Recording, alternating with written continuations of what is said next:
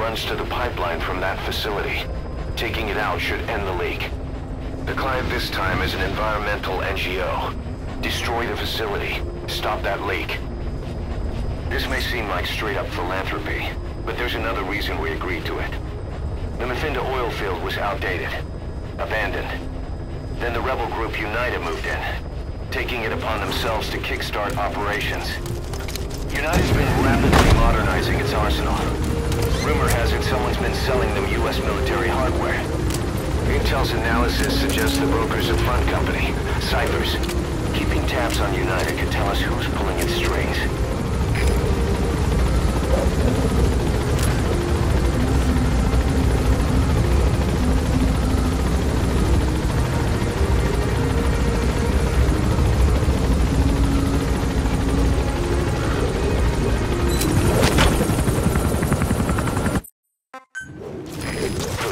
Way to the oil facility. It's to the north, past Kuala Yamasa. The war industry we started has taken a pretty crooked course these past nine years. With no other options, soldiers have become dogs of war, sent to conflict zones as private forces, or PFs. Guys we fought alongside are dying all around the globe for no reason. No banner. You've arrived in Masa Village. It's been turned into a supply hub for Unida, stocked with weapons and resources. Should be a thing or two that'll come in handy. Don't be shy. They deserve to be in better hands.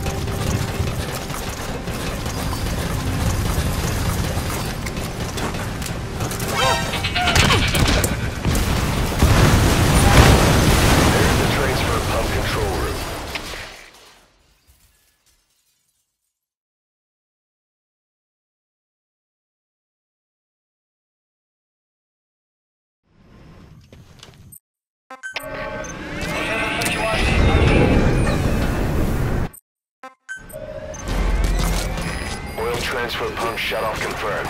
Objectives complete. But the enemy has tightened security. Get out of there ASAP.